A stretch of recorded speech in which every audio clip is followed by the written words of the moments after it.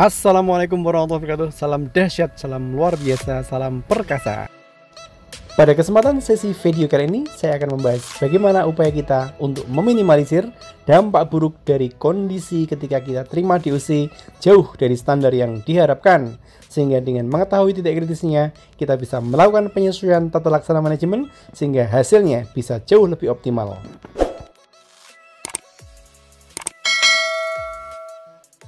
Masih bersama dengan saya Dr. Eko pada siang hari ini saya ada di kandang dom dengan teknologi uh, digitalisasi perkandangan dengan pencapaian performa di minggu ketiga 980 dengan berat DOC hanya 36,4 gram.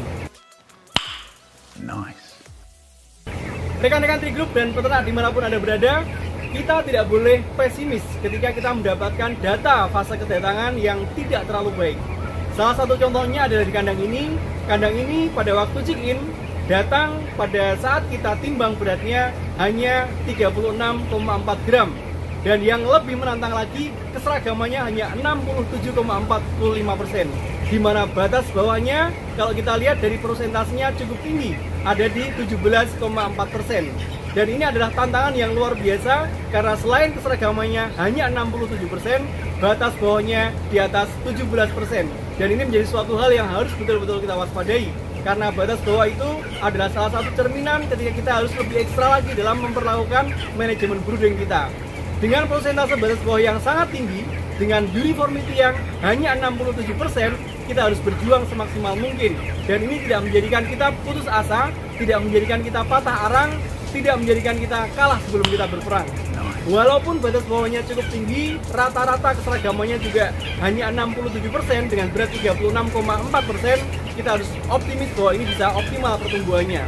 Bahkan kalau kita lihat dari lama perjalanannya sampai ke kandang, hampir 12 jam. Dari lokasi kita bisa melihat jam 5 sore sampai di kandang jam 5 pagi. Perjalanan yang cukup lama ini tentunya juga akan menyebabkan keseragamannya akan turun dan hal itu juga berdampak terhadap batas bawah yang semakin tinggi. Teman-teman bisa uh, menghitung batas bawah di video saya yang lain sudah saya jelaskan bagaimana cara menghitung batas bawah yang ideal. Nah, permasalahan yang dihadapi adalah ketika kita mendapatkan DOC dengan lama perjalanan yang cukup jauh, bahkan sampai 12 jam, ketika kita terima DOC dengan keseragaman hanya 67%, ketika kita terima DOC beratnya hanya 36 gram, bahkan yang batas bawahnya hanya 32 gram dengan persentase di atas 70% ini menjadikan suatu tantangan tersendiri dengan manajemen yang baik dengan optimalnya monitoring dari hari ke hari dari minggu ke minggu kita bisa melihat di minggu pertama beratnya 172 gram kemudian di minggu kedua mengalami perbaikan pencapaian beratnya ada di 490 gram ada di 470 gram dan pada waktu minggu ketiga kita bisa melihat pencapaian beratnya ada di 980 gram dengan FCR 1,24. Hal ini menjadi suatu hal yang penting karena monitoring harian bahkan monitoring setiap kali kita memberikan pakan pagi dan kita memberikan pakan sore hari kita harus betul-betul melihat seberapa baik pertambahan berat badan harian tidak cuma itu monitoring terhadap efisiensi pakan juga akan mengkonfirmasi seberapa banyak seberapa banyak feed intake yang dikonsumsi dan seberapa banyak apa yang dia makan, apa yang ayam makan akan terkonversi menjadi daging. Kenapa ini penting? Karena dalam bisnis broiler modern ini yang paling penting adalah efisiensi. Sejauh mana konsumsi pakan yang masuk dalam tubuh ayam dikonversi menjadi daging. Dan kenyamanan menjadi titik kritis yang harus betul-betul kita maksimalkan.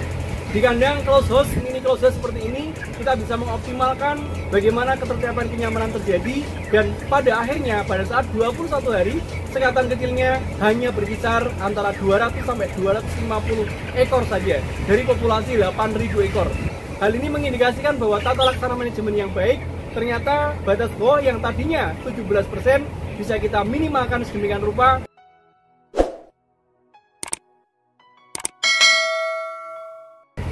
dari 17% ke 3% adalah suatu pencapaian performa yang cukup baik ketika kita bicara batas bawah yang tinggi pada saat kita menerima DOC. Sehingga teman-teman di mana pun Anda berada, jangan khawatir terhadap batas bawah yang tinggi, jangan terlalu panik dengan lamanya perjalanan. Selama di kandang, monitoring manajemen brooding kita optimalkan. Pada fase setelah minggu pertama, minggu kedua, minggu ketiga, kita lakukan grading dengan semaksimal mungkin, kita monitor kenyamanan ayam dengan lebih ekstra, maka kondisi di awal yang seolah-olah menjadi suatu hal yang berat ternyata tidak memberatkan ketika manajemen pemeliharaan terkawal dengan baik.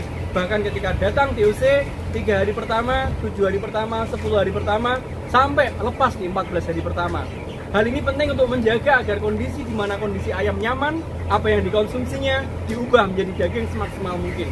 Barangkali itu yang bisa kita share pada video kali ini. Jangan lupa like, comment, and subscribe. Terima kasih. Assalamualaikum warahmatullahi wabarakatuh. Rekan-rekan peternak di mana pun Anda berada, berikut akan kami jelaskan setidaknya ada lima langkah yang harus dilakukan agar pencapaian performa pada waktu kita mendapatkan kondisi DOC yang tidak sepenuhnya ideal bisa memberikan dampak yang optimal terhadap pencapaian performa global. Yang pertama, ini erat kaitannya dengan bagaimana kita melakukan sanitasi dan disinfeksi kandang pada saat persiapan check-in. Kenapa ini penting? Karena kolonisasi dan kontaminasi kuman penyakit akan mengerosi secara tidak langsung ketika banyak kontaminan kuman. Sementara ayam harus mengkonversi dari jumlah total pakan yang dikonsumsi untuk diubah menjadi daging. Namun manakala kontaminasinya tinggi, maka akan berdampak terhadap alokasi energi yang harusnya untuk tumbuh akan digunakan untuk berjuang melawan penyakit. Sehingga pastikan sanitasi dan disinfeksi bisa dilakukan semaksimal mungkin saat kosong kandang. Kemudian yang kedua, ini erat kaitannya dengan tata laksana pemeliharaan, terutama sebelum kedatangan TOC di kandang kita.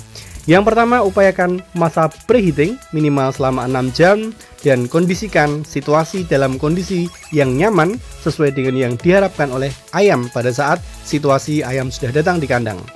Dan yang hal kedua adalah yang tidak kalah penting, bagaimana kita mengoptimalkan semua sarana brooding sebelum anak ayam datang ke kandang kita.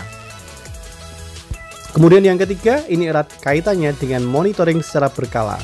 Pada saat 6 jam setelah DOC ditebar di area brooding, kita harus mengevaluasi bagaimana ketercapaian suhu keluarga pada saat situasi datang dan 6 jam kemudian harus kita pastikan pada suhu yang normal sesuai dengan yang kita harapkan. Ubah sesuaikan suhu brooding agar ketercapaian suhu yang ideal antara 39,5 sampai 40,6 bisa semaksimal tercapai Kemudian hal yang ketiga yang tidak kalah penting terkait dengan bagaimana pengecekan suhu dan juga pengecekan temperatur rektal setelah 6 jam tidak lain dan tidak bukan adalah untuk mengevaluasi seberapa jauh pelaksanaan tata laksana manajemen kita dan respon anak ayam ketika dikondisikan sesuai dengan suhu yang diharapkan. Kemudian yang ketiga yang tidak kalah penting adalah minimumkan stres dini, jaga kondisi ayam tetap nyaman, sehingga dengan ketercapaian feed intake yang optimal, dengan keterserapan nutrien intake yang optimal, maka semua energi yang didapatkan dari pakan akan dikonversikan dengan lebih optimal pula untuk pertumbuhan. Sehingga pastikan kenyamanan ayam terjaga dengan baik, sehingga konsumsi pakan bisa menunjang terhadap pencapaian berat yang kita harapkan. Kemudian berikutnya yang tidak kalah penting adalah bagaimana kita melakukan aspek biosecurity dengan lebih rinci dan detail. Pada saat minggu pertama dan minggu kedua, kondisi anak ayam masih terlalu rentan terhadap paparan kuman penyakit, sehingga pelaksanaan biosecurity, semprot kandang, bak celup, serta monitoring lalu lintas di sekitar area farm harus betul-betul terkontrol dengan baik sehingga setelah dua minggu ayam membentuk kekebalan terhadap apa yang sudah dilakukan vaksinasi di hatchery akan memberikan dampak level proteksi yang maksimal. Sehingga titik kritis di dua minggu pertama adalah bagaimana kita perketat pelaksanaan biosecurity di kandang sehingga bisa meminimalisir jumlah kuman yang akan berpotensi memberikan gejala penyakit pada ayam yang kita pelihara.